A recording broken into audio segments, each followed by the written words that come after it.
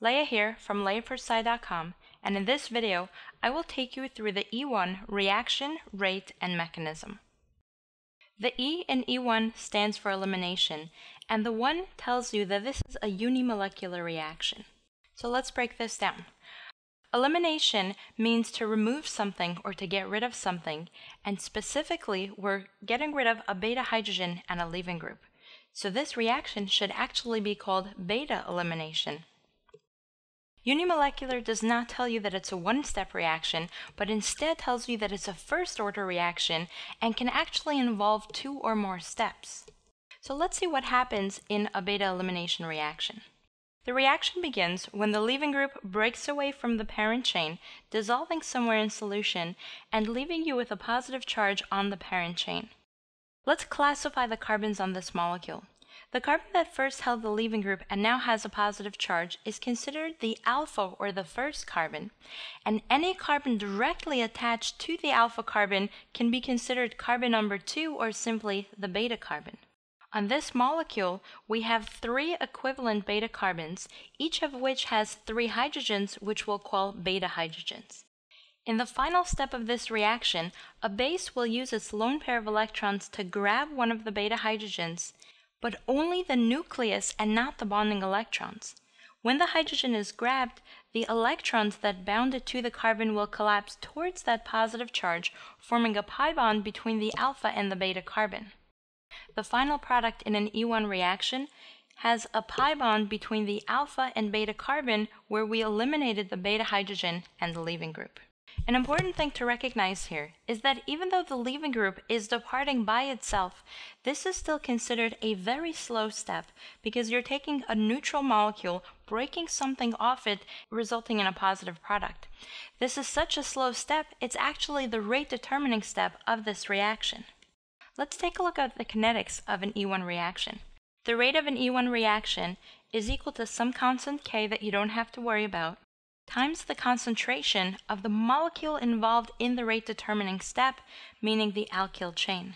The final step of the reaction, where the base grabs a hydrogen, that happens so quickly that the speed is negligible compared to how slowly that carbocation forms, and so the base is not looked at when determining the rate of an E1 reaction. Since only one molecule shows up in the rate law, we have a first order reaction, and this gives us the 1 in our E1 or unimolecular reaction. This tells you that if you double the concentration of your starting molecule, the reaction rate will double. If you triple the concentration, the reaction rate will triple.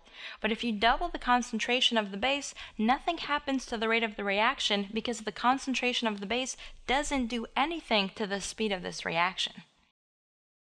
Let's look at the mechanism for the E1 reaction by analyzing what happens when 2-bromo 2-ethylpentane reacts with H2SO4 in water and heat by using the four-part checklist that I analyze all substitution and elimination reactions.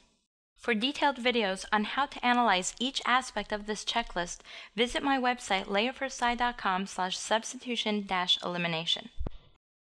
We'll begin with the alkyl chain, specifically looking at both the alpha and the beta carbons. The alpha carbon, which holds the leaving group, is a tertiary carbon, which tells you that you can form a stable carbocation and therefore a one-type reaction, meaning SN1 or E1, can take place. While SN2 cannot take place with a tertiary leaving group, we can't rule out the E2 reaction. For elimination reactions, you also want to look at your beta carbons to ensure that you have hydrogens that can be removed for the reaction to proceed. Next, we look at the leaving group. Bromine, which forms a stable anion solution, is a good leaving group that can depart by itself, allowing both a 1-type, meaning SN1E1, or a 2-type, SN2E2, to take place. Next, we look at the attacking molecule. Since this is elimination, we're not looking for a nucleophile, but rather looking for a base. The problem is we don't seem to have one. In fact, H2SO4 is an acid, so how can we have a base in this solution? Whenever it appears that you don't have a reactive molecule present, look for the concept of solvolysis, where the solvent itself acts as the attacking molecule. H2O, in addition to being the solvent, is also a weak base. Because it's neutral, it's not strong enough to forcibly kick out a leaving group and will have to resort to the one-type reaction, meaning SN1 or E1, where it waits for the leaving group to depart before attacking the molecule. And lastly, we have H2O as a solvent, which is polar protic, and that means it can stabilize any charges that form in solution and will therefore also favor our one-type reactions. You will often see competition between your SN1 and E1 reaction, so don't automatically say that only one or only the other can happen. In this case, we can have both SN1 and E1 take place. However, there are two things I want to point out. The first is that we have the triangle which represents heat, and heat tends to favor elimination over substitution. The second thing, since this is an E1 video, I'm only going to show the mechanism for E1, but keep in mind we will have some substituted products forming as well. The E1 reaction starts out when the leaving group grabs the two bonding electrons and breaks away from the carbon molecule, dissolving somewhere in solution.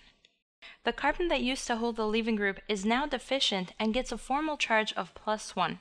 Since this is a tertiary carbocation, it is stable in solution, and don't forget it's also surrounded by the polar protic water molecules, stabilizing it even further. We can show the Br- as off somewhere in solution, and now let's look at the beta carbons. The carbon holding the carbocation is alpha, and any carbon directly attached to that is considered beta. On this molecule, we have three beta carbons, and since the molecule is perfectly symmetrical, so are the beta carbons. The carbocation is your alpha carbon, and any carbon directly attached to that is your beta carbon. In line structure, you typically do not show hydrogens, but because we're doing a beta elimination, I want to show you all the beta hydrogens and realize that they're all equivalent given that this molecule is perfectly symmetrical. Because every beta hydrogen is equivalent, I can choose one at random to proceed with the reaction. Recall that water is a polar protic solvent, meaning we have a partial negative oxygen and two partially positive hydrogen atoms. Water will reach out with the lone pair on the partially negative oxygen to grab one of the beta hydrogen. The two electrons that hold the hydrogen to the carbon will break away from the hydrogen and collapse towards that positive alpha carbon. The resulting molecule now has a double bond between the alpha carbon and the beta carbon where the elimination took place. We also have a positive hydronium in solution, which balances the Br- minus that departed in the first step. A quick charge analysis shows us a neutral starting molecule, a negative bromine, and a carbocation for a net charge of zero at the intermediate level, and a negative bromine and positive hydronium for a net charge of zero in the products. Be sure to join me in part 2 of this series, where we analyze the products of an E1 reaction based on Zaitsev's rules and the stability of substituted alkenes. You can also find my entire substitution and elimination series on my website, leah4sci.com slash substitution elimination. Are you struggling with organic chemistry? Are you looking for information to guide you through the course and help you succeed? If so, download my ebook, 10 Secrets to Acing Organic Chemistry using the link below or visit leah4sci.com slash orgosecrets. That's O-R-G-O secrets. For information regarding online tutoring, visit leah4sci.com slash orgotutor. That's O-R-G-O tutor. If you enjoyed this video, please give it a thumbs up and even share it with a friend or two. If you have any questions regarding this video, leave a comment below or contact me through my Facebook page at facebook.com forward slash.